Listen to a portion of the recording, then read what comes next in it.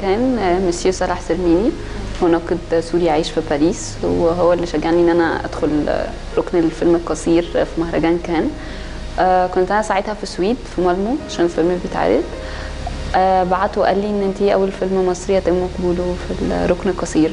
كنت مسجلة مع أستاذة فاتن آه، يعني قبل رحيلها بيوم. آه، وأهديت الفيلم ده ليها فأنا قررت نعمل آه، فيلم يكون فيها الناس المقربين ليها زي أستاذ هشام سليم ويسرا وجميل راتب ومحمود ياسين ونيلي وسمير صبري مع حفظ الألقاب طبعا. وكان مشكور جدا أستاذ سامح السريتي في إن هو المنسق لي معاهم.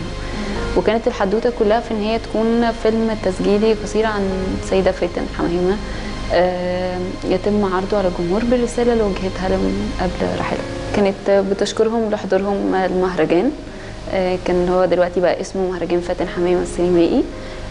وإن هي كانت بتتمنى حضورها قالت مش هتقدر إن هي تحضر آه، ختام المهرجان آه، اللي كنت بهدي الدورة فيه ليها يعني وهي موجودة. آه، فأخدته وعملته فيلم. كنت بصوره أثناء فعاليات المهرجان 10 أيام أو حاجة زي كده يمكن. أقل آه، بعد ما يتعرض آه، في مهرجان كان اللي هو في شهر خمسة آه، كان أستاذ أميرة باظه كان طلب تم الطلب يعني مني إنه يتعرض برضه في مهرجان اسكندرية.